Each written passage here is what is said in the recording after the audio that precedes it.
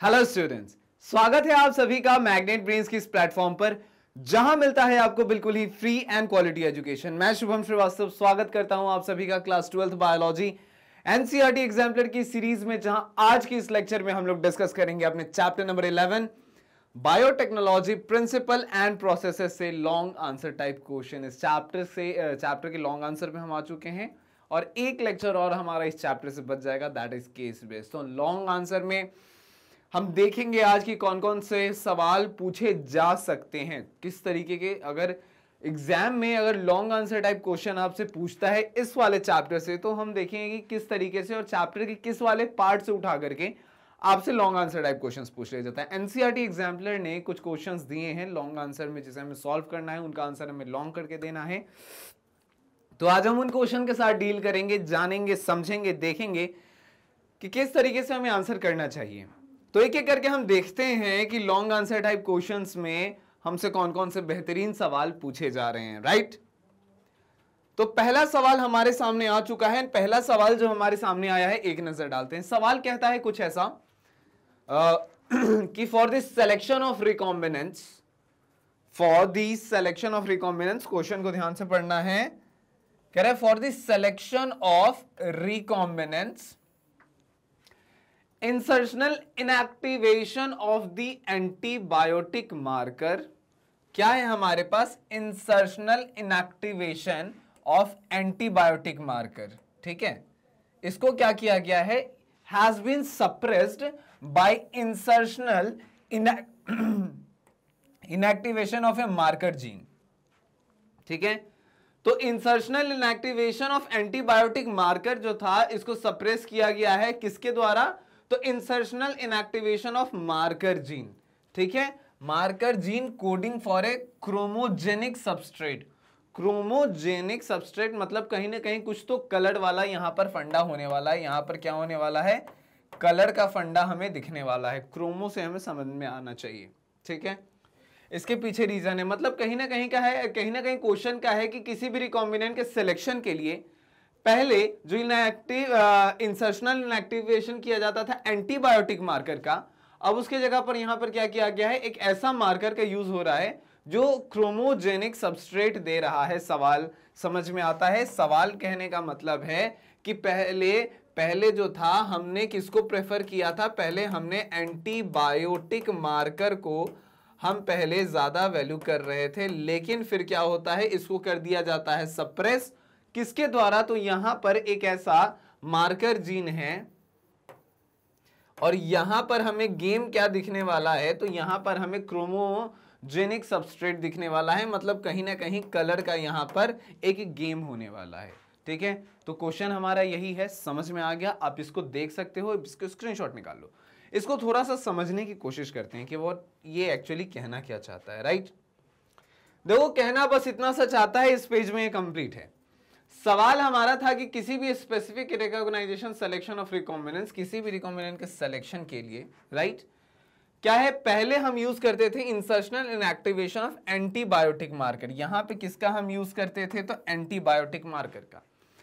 Antibiotic marker की खास insertional inactivation का यहाँ मतलब समझना है कि इनएक्टिवेशन ऑफ़ एंजाइम को हमने क्या कहा है? इंसर्शनल इनएक्टिवेशन तो कहने का मतलब है यहाँ पर हम बात कर रहे हैं किस चीज़ की? तो इनएक्टिवेशन ऑफ़ एंजाइम पहले एंटीबायोटिक मार्कर कहाँ यहाँ यूज़ हो रहा है? इसकी खासियत क्या है कि it requires two plates having the different antibiotics मतलब कहने का है कि दो प्लेट्स चाहिए। तो दो प्लेट से हमें क्या समझ में आ रहा है कि दो प्लेट का मतलब है कि दो आ, दो मीडिया की ज़रूरत है। दो कल्चर मीडिया की यहाँ पर ज़रूरत है और उसमें अलग अलग एंटीबायोटिक्स की ज़रूरत है। ठीक है? इसमें क्या ज़रूरत है कि इसमें चाहिए कि दो प्लेट की ज़रूरत है और अलग अलग एंटीबायोटिक की ज़रूरत है। इसकी बात अगर हम करें तो थोड़ा लेबोरियस है। ये थोड़ा लेबोरियस है और टाइम लेता है। टाइम कितना लेता है? तो अगर हम टाइम के बारे में देखें तो टाइम ऑलमोस्ट ये दो रातें ले लेता है। टू ओवरनाइट्स का ये समय ये लेता है। ठीक है? जी एच टी एस दो ओवरनाइट्स का समय ये लेता है। तो दो ओवरनाइट आप कहेंगे कि बहुत ज़्यादा टाइम तो नहीं हुआ। दो ओवरनाइट बहुत लंबा टाइम तो नहीं हुआ। लेकिन ये ज़्यादा है। अगर हम कंपेयर करें हम अपने इस वाले पार्ट से, किस वाले पार्ट से तो insertional inactivation of a marker gene coding for a chromogenic substrate मतलब यहाँ जो कलर की जो कलर के बारे में जो यहाँ पर गेम होना है, अब वो क्या है कि ये प्रोड्यूस करता है कलर को। In the presence of a chromogenic compound we can distinguish between the recombinants on the single medium plate अब यहाँ पर क्या है? देखिए डिफरेंस की अगर हम बात करें तो डिफरेंस को अगर हम लिखने की कोशिश करते हैं तो आ, हम इस तरीके से आगे चलते हैं। देखिए डिफरेंस एक एक करके अगर हम लिखने जाएँ तो हम कुछ इस तरीके से लिख सकते हैं। पहला हम क्या यहाँ पर लिख रहे हैं? हमारे पास दो चीज़ें हैं। क्या क्या है? तो हमारे पास है एक तो हमारे पास है दैट इज़ की एंटीबायोटिक मार्कर की कहानी है और एंटीबायोटिक मार्कर है तो पहले इसको लिख लेते हैं। क्या है हमारे पास? तो एक तरफ़ है हमारे पास। हम देखें तो एंटीबायोटिक मार्कर की कहानी है। ठीक है? और एक तरफ़ हमने देखा है किस चीज़ का? तो एक तरफ़ हमारे पास है। दैट इज़ की insertional activation of marker gene coding for a marker gene है। एक तरफ़ हमारे पास क्या है? मार्कर जीन है। Coding for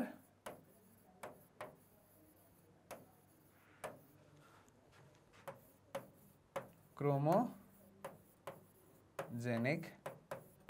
substrate. अब इसने क्या किया है? इस वाले को सप्रेस किया है। इसका मतलब है कि कहीं ना कहीं ये फ़ायदेमंद है। इसमें हमें देखना है इसमें हमें, हमने देखा कि दो प्लेट्स की ज़रूरत है। दो प्लेट्स की ज़रूरत है मतलब दो मीडिया की यहाँ पर बात की जा रही है। लेकिन इस वाले केस में हम देखते हैं तो एक सिंगल मीडियम से हमारा काम बन जा रहा है। सिंगल मीडिया से हमारा काम बन जा रहा है। इस वाले की बात करें तो थोड़ा लेबोरियस है। थोड़ा लेबोरियस है। अगर इसकी बात करें तो कंपैरेटिवली इजियर है। इस वाले की बात करें तो टाइम जो ये लेता है टाइम टेकन इसका जो है that is of two overnights दो रात का समय इसमें हमें लग जाएगा। लेकिन अगर हम इस वाले में बात करें तो जो हमें टाइम लगने वाला है टाइम ये इसमें हमें क्या कहता है कि एक एक ओवरनाइट में मतलब रात, एक रात की बात है, ये अपना काम कंप्लीट कर लेता है, ठीक है? इसमें डिफ्रेंसिएशन डिफ्रेंसिएशन इज़ डिफ़िकल्ट। इसमें डिफ्रेंशिएट करना डिफ़िकल्ट है। लेकिन अगर हम लोग इस वाले में बात करें तो चूँकि यहाँ पर कलर के होने से डिफ्रेंसिएशन जो है वो ईजिली हो जाता है। क्या होता है? डिफ्रेंसिएशन जो है वो ईजिली हमें देखने को मिलता है। पहले आप इसको नोट कर ले। पहले आप इसको नोट कर ले फिर हम आगे की ओर और, डिस्कस करते हैं। ठीक है? तो कहने का मतलब यही था हमारा यहाँ पे कि इस वाले पार्ट में हमने देखा कि दो मीडियम की ज़रूरत है जिसमें अलग अलग एंटीबायोटिक्स हैं। इस वाले में क्या है कि सिंगल यहाँ पे क्या है कि कलर के प्रेजेंस में होना है तो मतलब क्रोमोजेनिक कंपाउंड्स है तो produces colour in the presence of a chromogenic compound इसमें we can distinguish between the recombinants on a single medium plate तो यहाँ पर एक सिंगल मीडियम है डबल मीडियम है हम हम क्यों इसको डिस्टिंग्विश कर पा रहे हैं? चूँकि इसका कलर चेंज हो गया। कलर अलग हो गया है तो अलग कलर होने से हम इजिली डिफ्रेंशिएट कर पा रहे हैं। तो कहीं ना कहीं ये ज़्यादा और ये एक ओवरनाइट की कहानी थी। अगर हमने ये एक ओवरनाइट की कहानी थी, अगर हम इसके बारे में देखें तो इसके बारे में देखें तो एक ओवरनाइट की कहानी हमें यहाँ पर, एक ओवरनाइट की कहानी हमें देखने को यहाँ पर मिलने वाली है। तो टाइम कम लग रहा है? लेबोरियस कम है। हमें इजिली हम डिस्टिंग्विश कर पा रहे हैं। दैट इज़ वाई वही है कि किसी भी for specific recognition of selection of a recombinant अभी क्या है, ये वाला जो है, वो ज़्यादा परफेक्ट है, ज़्यादा एक्यूरेट है। इसको आप नोट कर लो स्क्रीनशॉट निकाल लो। फिर हम आगे की ओर चलते हैं राइट अब देखिए यहाँ पर ये वही चीज़ यहाँ पर लिखता है कि insertional inactivation of antibiotic markers यहाँ पर वही बात की जा रही है, जैसा हमारा क्वेश्चन था कि insertional inactivation of the antibiotic marker तो एक insertional inactivation of antibiotic marker requires simultaneously plating of two culture वही हमने यहाँ जो देखा डिस्कस किया कि दो कल्चर मीडिया की ज़रूरत है और क्रोमोजोनिक और chromogenic inactivation is a short method to distinguish between the transformants and non transformants और वहीं पे ये जो क्रोमोजेनिक और की जगह एंड होगा तो ज़्यादा गुड है। क्रोमोजेनिक इनएक्टिवेशन एक तो शॉर्ट मेथड है शॉर्ट मीडियम है, और इजिली हम डिस्टिंग्विश कर पाते हैं ट्रांसफॉर्मेंस और नॉन ट्रांसफॉर्मेंस के कारण कारण। कारण की कलर चेंज की कहानी है। Chromogenic inactivation the gene is gene of interest is inserted in between the chromogenic gene due to the inactivation of the chromogenic gene the recombinant DNA would not produce colour hence, it can be concluded that the colonies produces color are identified as non transformants तो जिसने colour बनाया, उसको हमने non transformants रखा, और जिसने colour नहीं produce किया, उसको हमने ट्रांसफॉर्मेंट्स कहा। तो कलर के होने से कलर के होने से हमने डिस्टिंग दोनों के बीच में जो अंतर है, वो हमें आसानी से समझ में आ रहा है। तो whereas the colonies which do not produce the colour are transformant colonies तो ट्रांसफॉर्मेंट्स ने कलर नहीं बनाया नॉन ट्रांसफॉर्मेंट ने कलर बनाया तो हमने दोनों को इजिली डिस्टिंग्विश कर लिया so this is the reason why for the selection of the recombinants insertional inactivation of the antibiotic marker has been suppressed by the insertional inactivation of a marker gene coding for a chromogenic substrate तो यही इसकी कहानी है इसलिए ये ज़्यादा perfect है ये ज़्यादा एक्यूरेट है आप इसको भी नोट कर सकते हो इसका भी आप स्क्रीनशॉट निकाल सकते हो तो इस तरीके से हमने अपने क्वेश्चन नंबर वन को कंप्लीट किया। कोई डाउट अगर आपके मन में रह गया हो नहीं समझ में आप कमेंट में बिल्कुल उसको पूछ सकते हैं। सो so ये रहा हमारा पहला सवाल हमारे लॉन्ग आंसर टाइप क्वेश्चन से राइट आगे चलते हैं और डिस्कस करते हैं अपने क्वेश्चन नंबर टू को कि दूसरा सवाल हमसे क्या कहना चाहता है? आ, दूसरा सवाल हमसे क्या कहना चाहता है? आ चुके हैं हम अपने दूसरे सवाल पे। दूसरा सवाल, इसके बारे में हमने अपने शायद वेरी शॉर्ट या फिर शॉर्ट में डिस्कस किया है। माइंड मैप में भी डिस्कस किया ही है। दैट इज़ की describe the role of Agrobacterium tumefaciens मतलब यहाँ पर आपको एक बैक्टीरिया दिया गया है। इस बैक्टीरिया को देख करके बहुत सारी चीज़ें हमें याद आ रही हैं कि कहीं ना कहीं ये प्लांट्स में ट्यूमर वाली चीज़ें, यहाँ से हम कैसे याद रख सकते हैं? तो यहाँ टी यू एम ही है। तो यहाँ टी यू एम से ट्यूमर भी तो कुछ ऐसे ही शुरू होता है। तो वही हम याद रख सकते हैं कि एग्रोबैक्टीरियम ट्यूमेफेशियंस जो है, यहीं से हमें ट्यूमर वाली चीज़ें मिलने वाली थी। तो कह रहा है कि रोल बताना है एग्रोबैक्टीरियम ट्यूमेफेशियंस का इन ट्रांसफॉर्मिंग प्लांट सेल ये क्या करता है? प्लांट सेल के ट्रांसफॉर्मेशन में अपना रोल प्ले करने वाला है तो उसके बारे में हमें बताना है। तो एक तो पहले अगर हम बात करें इसके बारे में तो ये एक बैक्टीरिया है। एग्रोबैक्टीरियम की बात करें तो ये एक बैक्टीरिया है, ये तो आपको क्लियर होना चाहिए, ठीक है? अब जिस तरीके से कहेंगे कि सर ये तो समझ में आ ही रहा है कि बैक्टीरियम लिखा है तो बैक्टीरिया होना चाहिए। लेकिन कई बार ऐसा देखने को मिलता है कि बैक्टीरियो फ़ेज़ में बैक्टीरिया जैसी वर्ड्स आ रहे हैं, लेकिन बैक्टीरियो फ़ेज़ एक वायरस होता है तो उसमें बैक्टीरिया वर्ड उसमें देखने को मिलता है, लेकिन एक्चुअली वो वायरस है, इसलिए क्लियर कर लेना ज़रूरी है कि एग्रोबैक्टीरियम, ये जो है बैक्टीरिया है। तो इसके रोल के बारे में पूछा गया है किस क्या काम है तो इसको transforming a plant cell plant cell को इस बैक्टीरिया ये बैक्टीरिया क्या करेगा? तो ये बैक्टीरिया करने वाला है कुछ ऐसा कि ये जो इसका जो प्लांट सेल है, इस प्लांट सेल को ये क्या करेगा? इस प्लांट सेल को ये ट्रांसफॉर्म करेगा। ठीक है? ये इसको करने वाला है। ठीक है?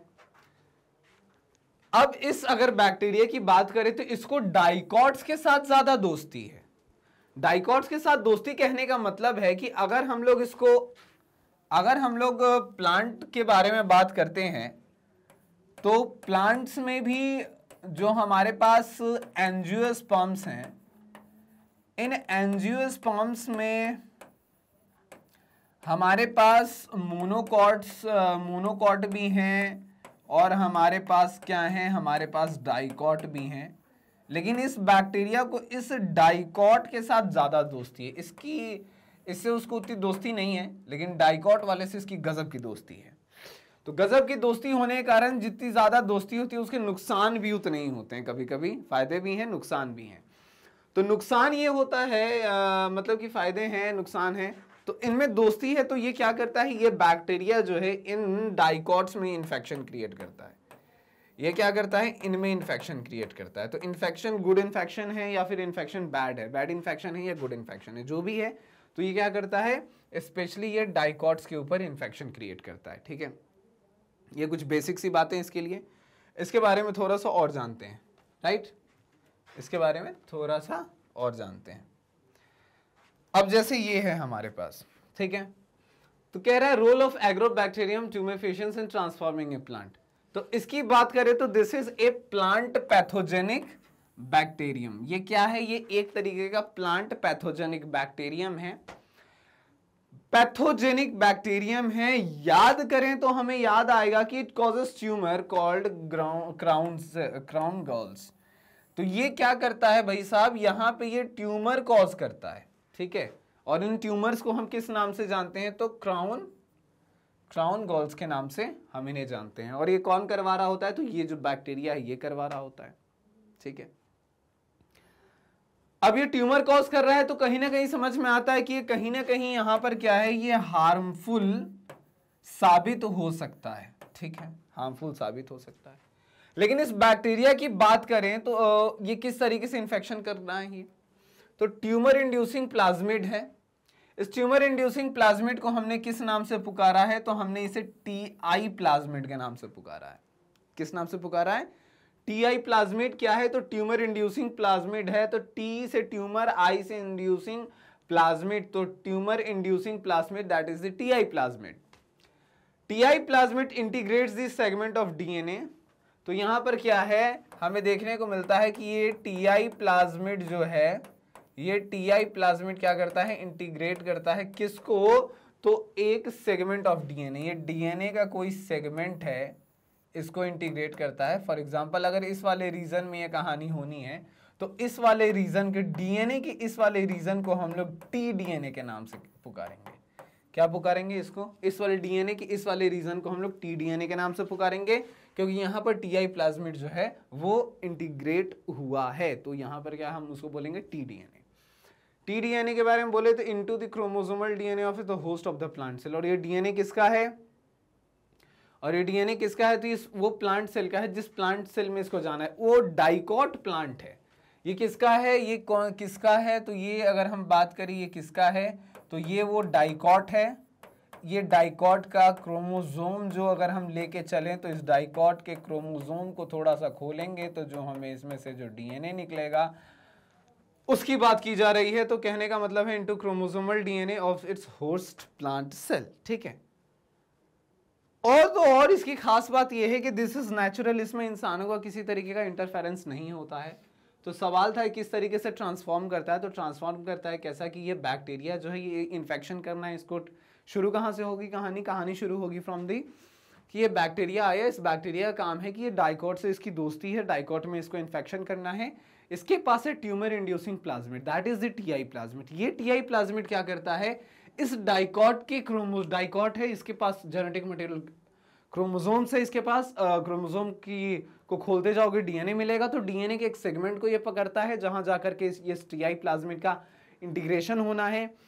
एंड डीएनए के उस सेगमेंट को हमने टी डीएनए के नाम से पुकारा है, और जैसे ही भाई साहब ये वाला T I plasmid T I plasmid इसमें घुसेगा तो यहाँ पर क्या हमें दिख जाएगा? जैसे ही ये घुसेगा तो ओवरऑल हमें यहाँ पर, हमें क्या है, इस चीज़ को हम यहाँ लिखते हैं कि दैट इज़ की ओवरऑल अगर इस वाले केस को अगर हम लेके चलें तो यहाँ हम क्लियर हैं कि यहाँ पर हमें इनफेक्शन हमें देखने को मिल सकता है। जैसे ही इसके जेनेटिक मटेरियल में घुसा तो इन्फेक्शन दे सकता है। Good as well as bad good की बात बाद में बैड की कहानी है कि फ़िलहाल ये इन्फेक्शन में क्या करेगा? तो ये इन्फेक्शन में ये ट्यूमर कॉज करेगा, ठीक है? और ये सब कुछ होना है नेचुरली इंसान का किसी भी तरीके से इसमें इंटरफेयर नहीं है, इंसान किसी तरीके से इसमें दखल नहीं दे रहा है। दैट इज़ वाई हमने इसे क्या कहा? Natural genetic engineer of plants मतलब प्लांट्स के भी ये कैसे हैं? जेनेटिक इंजीनियर हैं। इंसानों का तो छोड़ो, ये प्लांट्स के जेनेटिक इंजीनियर हैं। नेचुरल जेनेटिक इंजीनियर इनको हमने कह दिया, ठीक है? लेकिन ज़रूरत है कि गुड इन्फेक्शंस रहे तो बेटर है बैड इन्फेक्शंस की ज़रूरत नहीं है तो इसके लिए स्टेप्स लिए फिर ह्यूमंस ने द मॉलिकुलर बायोलॉजिस्ट कुछ मॉलिकुलर बायोलॉजिस्ट ने क्या किया, एक वर्जन यूज़ किया प्लाज्मिड का। कहता है कि use a version of the plasmid from which the tumour forming genes has been eliminated still deliver gene of interest कहने का मतलब है कि उन्होंने एक ऐसे प्लाज्मिड को यूज़ किया जिसके कारण से जो गुड चीज़ें होनी है, लेकिन जो बैड बैड दैट इज़ अब दैट इज़ ऑफ़ की ट्यूमर ट्यूमर फॉर्मिंग जो था जीन इसको क्या कर दिया? एलिमिनेट कर दिया। तो ट्यूमर फॉर्मिंग जीन को एलिमिनेट करने से एटलीस्ट ये जो क्राउन गॉल्स है, ये तो नहीं हो रहा था। क्राउन गॉल्स मतलब दैट इज़ की ट्यूमर जो था ये वाला, ये तो नहीं हो रहा था।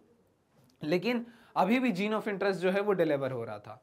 तो इस तरीके से एग्रोबैक्टीरियम ट्यूमेफेशियंस जो है वो प्लांट के ट्रांसफॉर्मेशन में मदद करता है। इंफॉर्मेशन है। इसको आप नोट कर सकते हो, आप इसको स्क्रीनशॉट निकाल सकते हो। ये इसको आप अपने लैंग्वेज में भी लिख के अपने तरीके से लिख सकते हैं राइट फ़िलहाल आप इसको नोट कर ले, फिर हम आगे चलते हैं और डिस्कस करते हैं। ये जो हमारे पास है, वही यहाँ कहता है कुछ कि Agrobacterium tumefaciens is known to cause infection in the plant plant में इसको इन्फेक्शन करना है स्पेशली ये बात कर रहा है किसका? तो डाइकॉट्स का। कहता है कि the T I plasmid of this bacterium इस बैक्टीरियम का जो टीआई प्लाज्मेट है, ठीक है, इस बैक्टीरिया का, ये जो बैक्टीरियम है, इसका क्या है? तो इसका है कुछ नहीं, इसका है सिंपल सा टीआई प्लाज्मेट और ये टीआई प्लाज्मेट क्या करता है?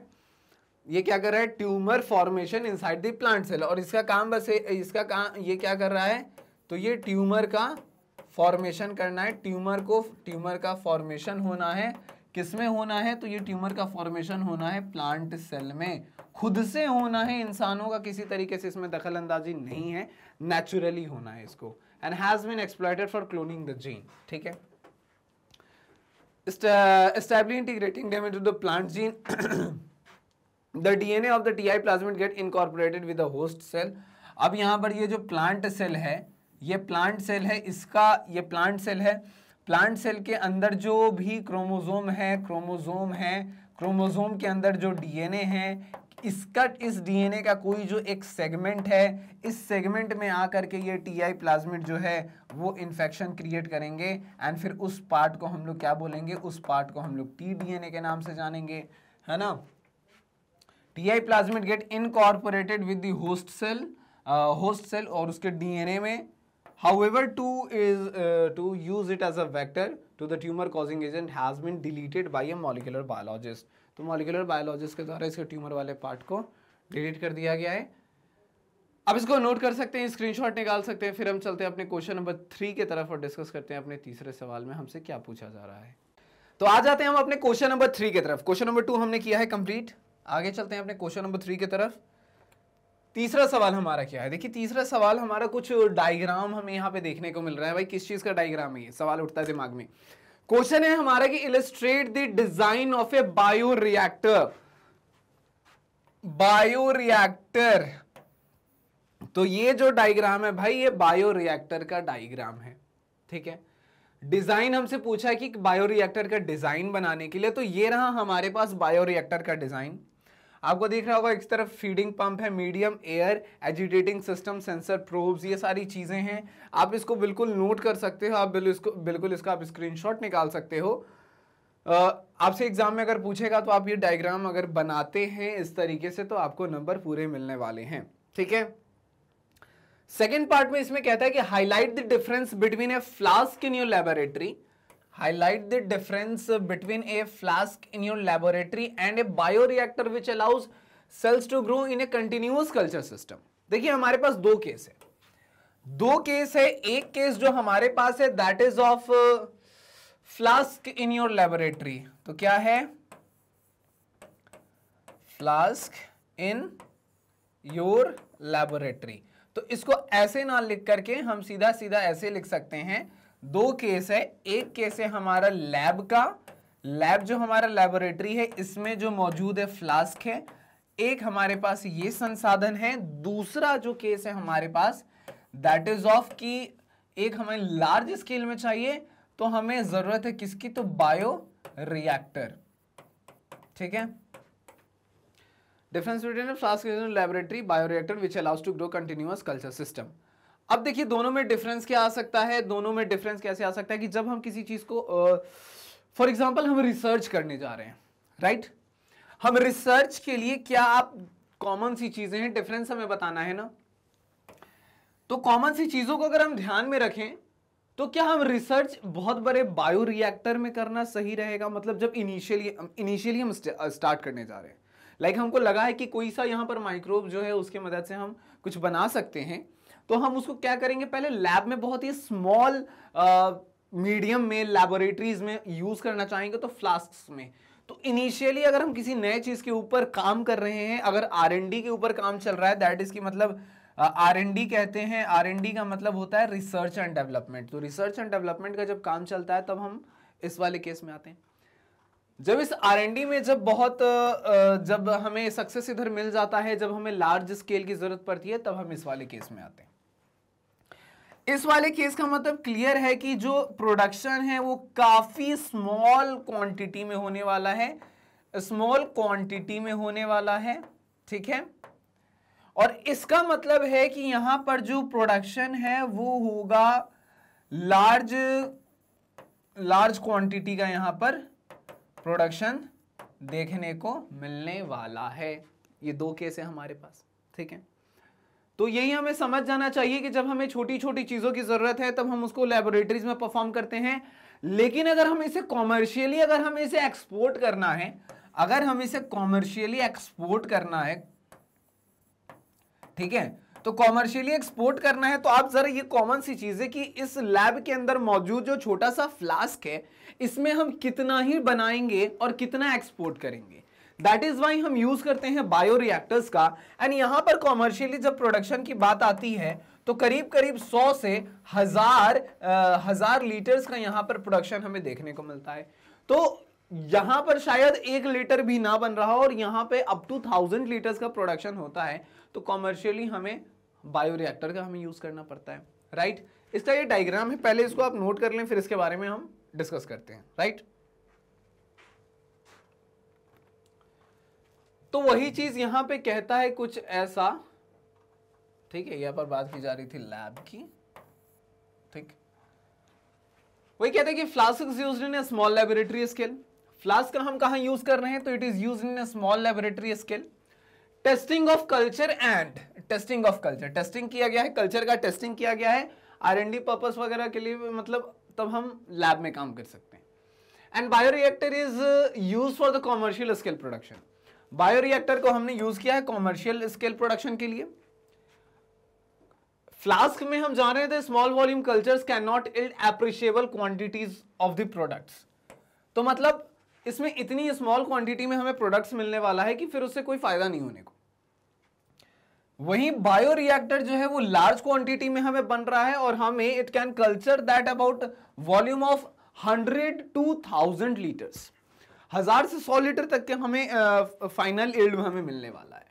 तो ये इन दोनों के बीच में डिफरेंस था। ये इन दोनों के बीच में डिफरेंस था। आप इसको नोट कर सकते हो, आप इसको स्क्रीनशॉट निकाल सकते हो। राइट आगे बढ़ते हैं। आगे बढ़ते हैं। उम्मीद है कि आपको समझ में आ रही हूँ चीज़ें, कि कोई डाउट आपके मन में रह गया है तो आप उसे बेझिझक पूछ सकते हैं। इस छोटे से चैप्टर में लॉन्ग आंसर की अगर हम बात करें तो एनसीआरटी एग्जाम्पलर में सिर्फ़ तीन लॉन्ग आंसर टाइप क्वेश्चन हमें दिए थे। हमने तीनों को सॉल्व किया है। तीनों को सॉल्व किया है एंड आई थिंक तीनों तीन तरीके के क्वेश्चन से मतलब चैप्टर के पहले पार्ट से लेके मिडिल पार्ट में एंड लास्ट पार्ट वाले चैप्टर का जो ये हमारा जो चैप्टर है, इसमें पहले पार्ट से मिडिल पार्ट एंड सबसे आखिर वाले पार्ट से तीनों जगह से एक एक क्वेश्चन हमारे पास थे। हमने तीनों का आंसर किया है। उम्मीद है कि आपको समझ में आया होगा। अगर किसी तरीके का डाउट रह गया है मन में तो आप उसे बेझिझक पूछ सकते हैं। एक और इन्फॉर्मेशन आपके लिए that is about Magnet Brains ये एक ऐसा प्लेटफॉर्म है जहाँ आपको बिल्कुल नहीं फ्री एंड क्वालिटी एजुकेशन दिया जाता है।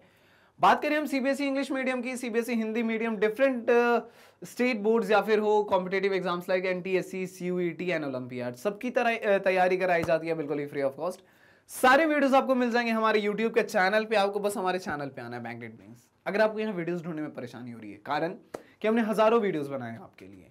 वीडियोस जिनको देख करके आप अपने लाइफ में बहुत कुछ अच्छा कर सकते हैं। तो अगर आपको यहाँ वीडियोस ढूँढने में परेशानी हो रही है तो आप डाउनलोड कर सकते हैं हमारे ऐप को, या फिर आप विज़िट कर सकते हैं हमारी वेबसाइट डब्ल्यू यहाँ आना है आपको। अपने क्लास को चुनना है, अपने सब्जेक्ट पे जाना है, अपने चैप्टर को चुनना है, जिस भी लेक्चर में आपको डाउट है, दिक्कत है, पढ़ना है, शुरू से पढ़ सकते हैं, सारे कोर्सेज अवेलेबल हैं। ठीक है? तो इसे पढ़ते रहिए, अच्छे मार्क्स लाते रहिए। तो इन्हीं अच्छे बातों के साथ हँसते रहिए, मुस्कुराते रहिए और पढ़ते रहिए मैग्नेट बेस के साथ। Tata thank you bye bye